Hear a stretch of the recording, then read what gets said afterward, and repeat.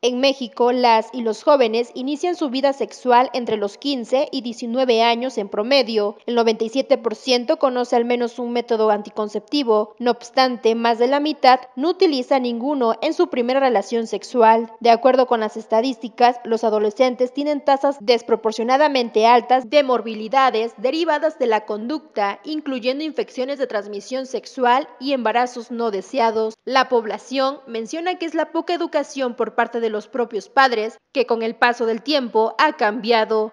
Supongo yo, quiero pensar que todo se debe a la falta de guía, de, dirección de los padres, que es donde empieza la educación. Además de que a los maestros eh, últimamente se les ha este, restringido eh, la manera de educar a los escolares. En mis tiempos los tíos, los abuelos tenían el mismo derecho de mandar y de exigir respeto a los hijos. A los maestros se les permitía que corrigieran y aplicaran medidas disciplinarias a los jóvenes, a los niños. Actualmente ya no. Y mi opinión es que a partir de entonces la educación en general se ha descompuesto. Resaltan que la tecnología es una de las causas principales por la que los jóvenes toman la decisión de iniciar su vida sexual sin tener en cuenta las consecuencias. Pues es una cuestión totalmente lamentable, este, muy penosa y preocupante para la sociedad en general yo considero que la televisión influye mucho en la educación de los hijos.